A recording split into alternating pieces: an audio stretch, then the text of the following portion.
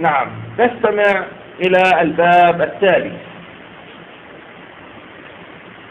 باب قول النبي صلى الله عليه وسلم رب مبلغ أوعى من سامع قال الإمام البخاري رحمه الله حدثنا مسدد قال حدثنا بشر قال حدثنا ابن عون عن ابن سيرين عن عبد الرحمن بن أبي بكرة عن أبيه ذكر النبي صلى الله عليه وسلم قعد على بعيره وأمسك إنسان بخطامه أو بدمامه قال أي يوم هذا؟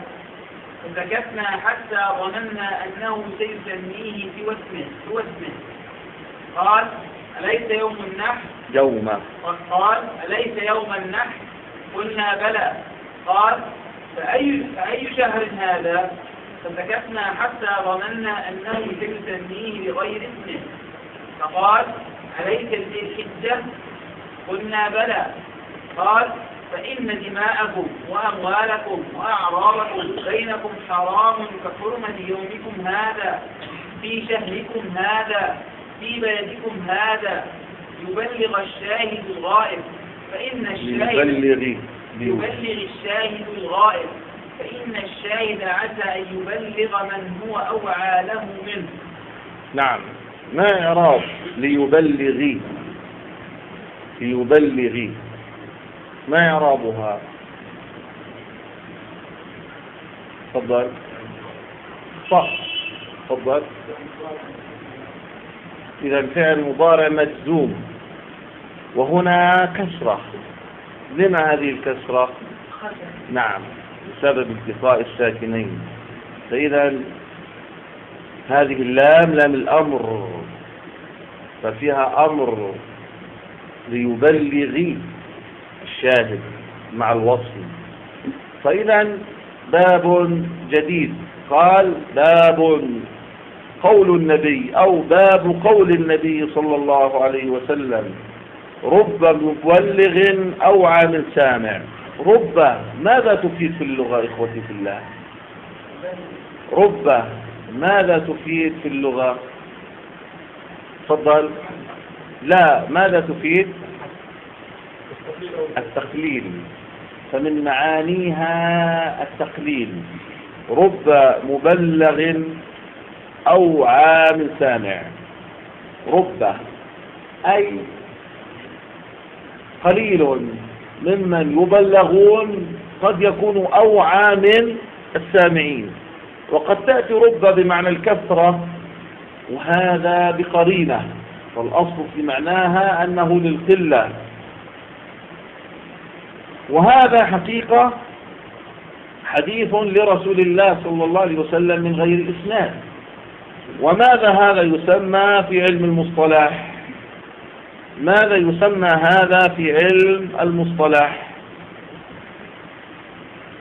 تفضل. المعلق. وما هو تعريف المعلق في علم الحديث؟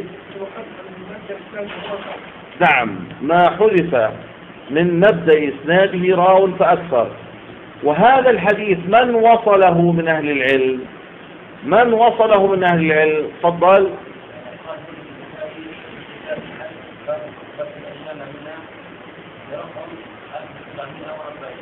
واحد واربعين. نعم أحسن.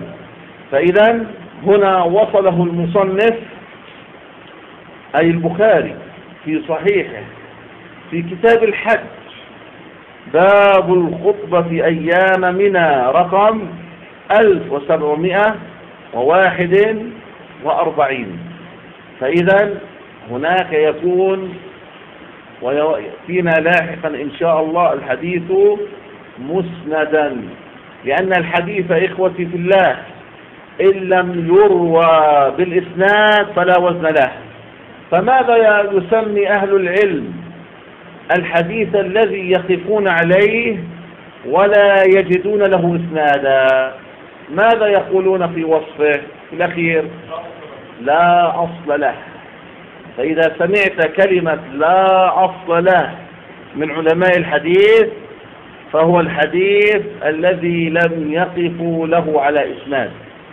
وقد يعبر بكلمة أخرى من غير قولهم لا أصل له للدلال على أن هذا الحديث لا إسناد له.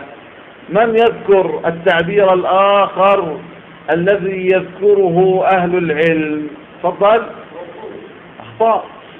ما الذي يذكره أهل العلم؟ تفضل. أخطاء. أخطاء. أخطاء. يقولون لا أعرفه كما ذكر أخونا شيئا من ذلك.